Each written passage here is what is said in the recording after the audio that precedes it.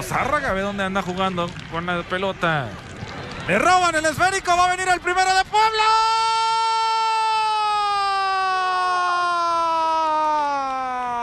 En el pecado llevaron la penitencia. Warby. El gol. Puebla madrugó.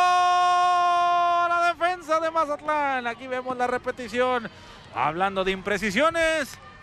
Sí, Pues aquí está una más, ¿no? sí, se equivoca ahí en el pase, en la recepción, Michel Guerrero y agarran desprevenida a Mariana Zárraga que, que trata de salir ahí.